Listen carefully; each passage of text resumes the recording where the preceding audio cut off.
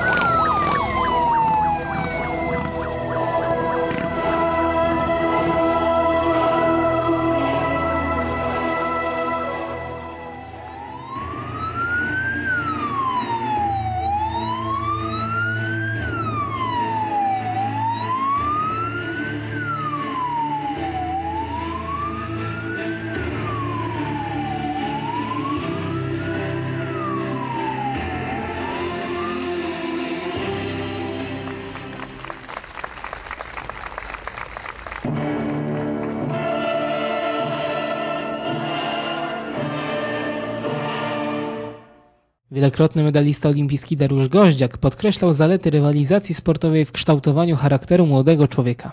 Wiadomo, że olimpizm niesie ze sobą fair play, prawda? To yy, utożsamiamy się właśnie z tą ideą, czyli żyć w jakiejś czystości, prawda? W, yy, jeżeli chodzi o doping, tak, ci młodzi ludzie powinni yy, wychowywać się w tym yy, właśnie yy, kierunku. No sport to jest piękna sprawa, nie, nie, nie, zawsze doceniana, dlatego że yy, tak naprawdę yy, ten sport kształtuje charakter i później w przyszłości obok, obojętnie co byśmy ro, nie robili, prawda? Za jakikolwiek zawód wykonujemy i pracę, to uczy ten sport systematyczności, prawda? Yy, yy, yy, pozwala kształtować swój charakter pod względem tego, że uczymy się wygrywać, ale też i przegrywać, bo przecież częściej przegrywamy niż wygrywamy i trzeba umieć rękę podać później w różnych właśnie sytuacjach, nawet i życiowych. Tego sport uczy.